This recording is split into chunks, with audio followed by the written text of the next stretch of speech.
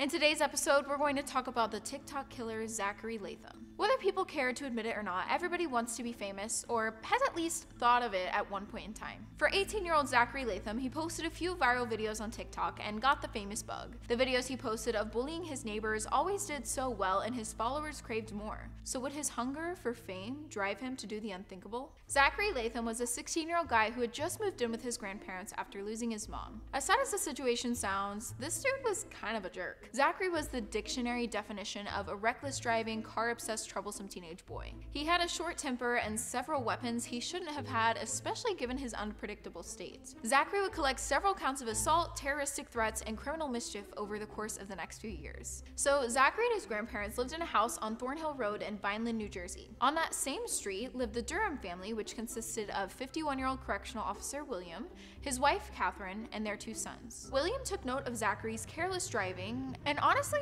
everyone in the neighborhood did because he was constantly revving his engine and speeding around in his Corvette, going upwards of 100 miles per hour in a residential area. But out of everyone in the area, William was the most upset about Zachary's driving because, one, I'm sure he was worried about Zachary driving like that around his kids and others. Two, being a cop, he's most likely seen the horrific effects reckless driving can have on people. William had apparently confronted Zachary and his family on multiple occasions about his driving. Now, that's a sensitive subject for everyone, but for Zachary, that really ticked him off. At first, William spoke to Zachary's grandparents about his frustrations. Days later, Zachary went over to William's house to apologize and say he'd be more careful in the future. But I'm guessing that was something Zachary's grandparents forced him to do because even though he apologized, he didn't make any changes to his driving. And now it was almost like a game for Zachary. He was one of those people that loved to stir the pot, so knowing his engine revving and tire screeching was getting under people's skin, that made him want to do it more often.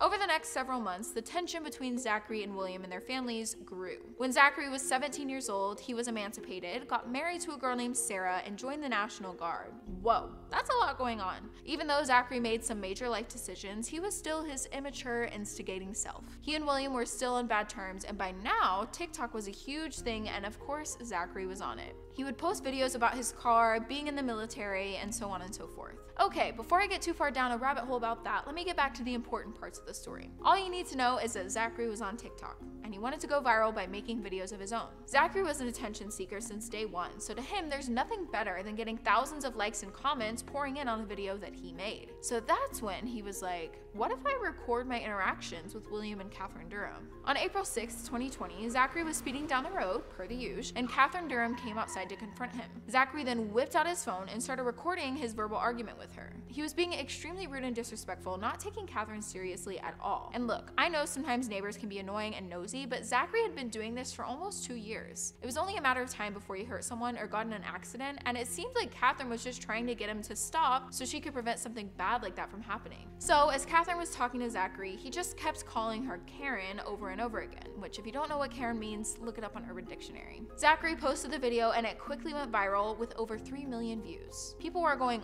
off in the comments about ways to get back at Catherine. People in the comments were telling Zachary to egg Catherine's house, slash her tires, and continue to record and harass her. A few days later, Zachary drove up to William and Catherine, who were out in their front yard, and said, Hey Karen, we went viral. But one viral video wasn't enough.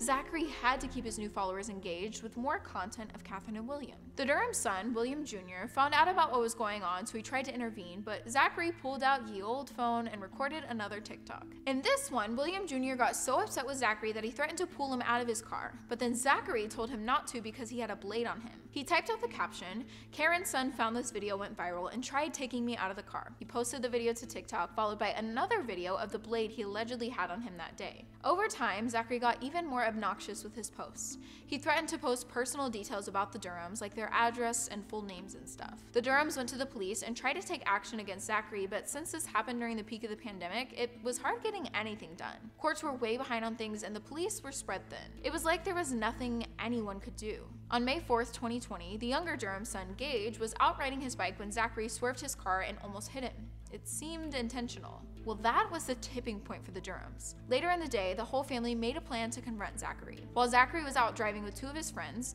William blocked the street entrance with his car. As Zachary pulled up, Catherine walked up to his car to speak with Zachary about almost hitting her son. This time, she took a page out of Zachary's book and recorded the interaction on her phone. But Zachary didn't like that one bit. He got out of his car and started hitting Catherine.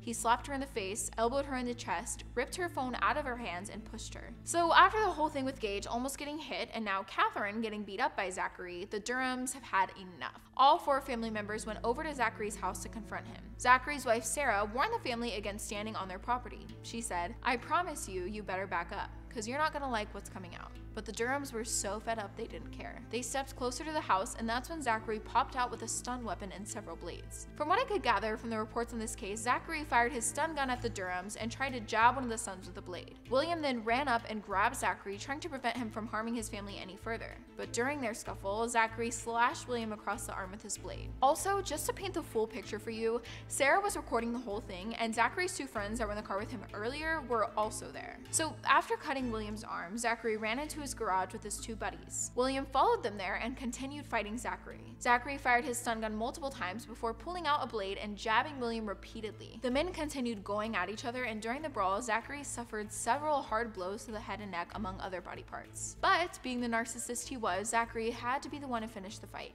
He dug his blade into William Sr.'s armpit, which pierced his lung. By that point, the fight was pretty much over, and Zachary decided he'd call 911. He told the dispatcher, There's blood all over the place. I just got assaulted and jumped. He said they came with trucks, came on my property with guns. My windpipe was crushed in, and I got stomped on and choked by like 10 people. He then went on to say that these assailants came on his property with firearms and said they were going to kill him which is a lie. After that, Zachary said there was four people, which directly contradicts the part where he said he was jumped by 10 people. Police officers and paramedics arrived as quickly as they could and William was rushed to the hospital, but his wounds were too severe. At 9:19 p.m., William was pronounced lifeless. Catherine, William Jr. and Gage burst into tears and it was just a tragic scene.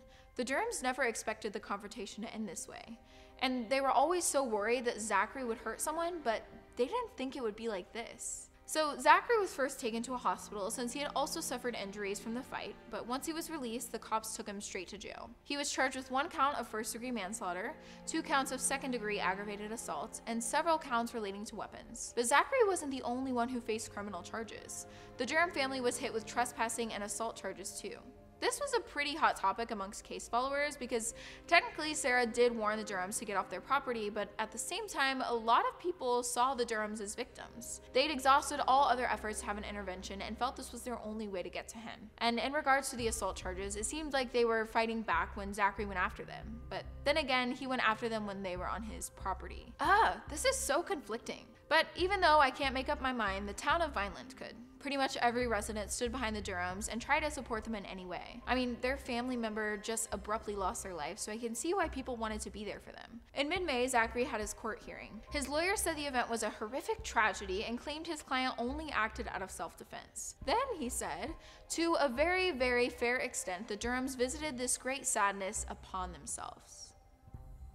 I cannot get over how rude and insensitive that is. Like, give these people some grace. They just lost a family member and your client is still alive. Zachary's lawyer continued on by saying the Durham saw Zachary as the James Dean of the neighborhood and made it out to seem like they overreacted just because his car was loud and he liked to drive fast. When it was time for the Durham's lawyer to speak, they requested Zachary's charges be changed from manslaughter to murder because this was an intentional, premeditated act. They basically said Zachary was a fame hungry monster who did this all for the clout on TikTok.